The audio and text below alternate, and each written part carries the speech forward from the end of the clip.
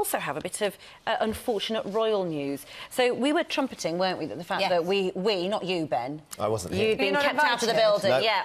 The Duchess of Cornwall. Essex boys don't get to meet royalty. That's right. Not You're kept true. away. Um, she had Hil- Dr. Hilary to contend with. That was enough charm in one go. But look, so she came in. We had a lovely, lovely time.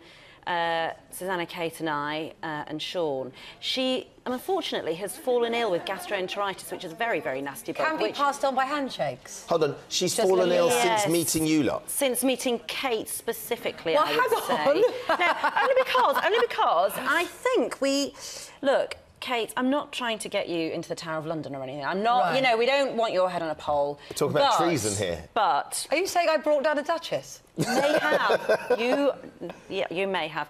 Yes, I think there's pictures There of you rubbing your people that shook hands. She was just on your dress She and was sort excited. of trying to clean the sort of whatever it was on your hands before you shook hands. Oh, no! She's angling for the damehood. She wanted to make sure. Can I, uh, uh, but everybody that was there, everybody that was there could Yeah. be complicit in this, Ranvir. And Yes, you were there exactly. too. I thought Sean looked a bit suspicious. Are you Clean as a suggesting you're cleaner than me? Dr. By- Hilary? By reputation.